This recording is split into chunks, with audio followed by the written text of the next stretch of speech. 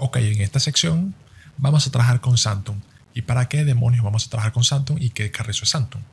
Porque por supuesto te dejo la documentación oficial para que tengas una mejor referencia.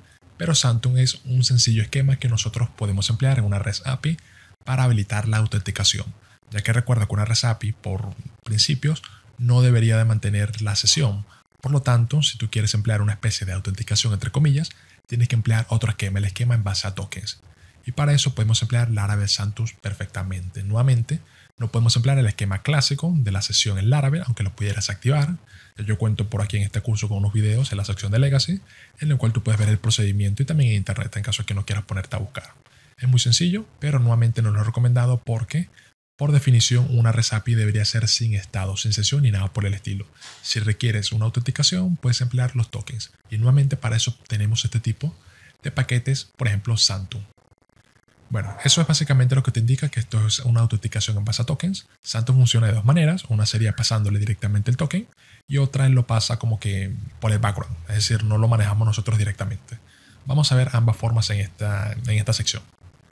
Por aquí también la documentación oficial te indica cómo lo puedes instalar, que en este caso sería, con lo típico, un Composer Require Laravel Santum, aunque también te indica que la mayoría de las versiones modernas de Laravel ya ven incluida, así que no sería necesario emplear esto. De igual manera puedes buscar acá en tu composer.json y ver qué paquetes tienes instalados. Vas a ver que ya por aquí dispones de Santum, así que no sería necesario instalarlo nuevamente. Por lo demás no hay mucho más que decir. Por supuesto, para poder funcionar, en este caso la ruta de tipo API, lo tienes que habilitar. Si nos fijamos, vamos a buscar acá en el kernel. Vea HTTP, muy importante. Y por aquí si revisamos las rutas de tipo API, vas a ver que aquí estos son los servicios que maneja. Fíjate que por aquí tenemos el de la sesión. En este caso no lo tenemos, por lo comentado anteriormente. Pero ya tenemos aquí nuestro santo. Así que ya lo podríamos emplear perfectamente sin problemas.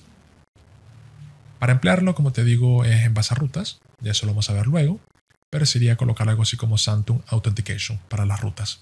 Las rutas que requieran autenticación. Y las que no requieran, básicamente no la colocas.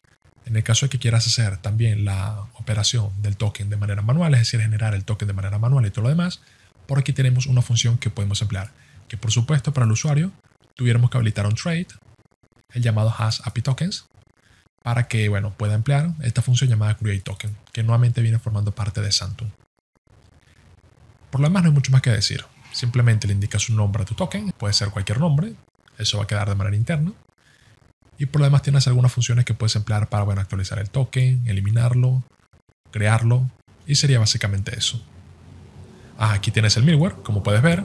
Cuando quieras proteger algunas rutas con Santum, simplemente lo defines de esta manera.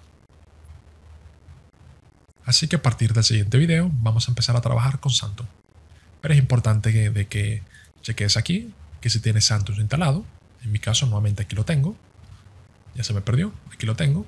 Y si no lo tienes, simplemente ejecuta el composer install Laravel Santum o Santum Laravel, este que tenemos acá, por tu terminal para instalar Santum.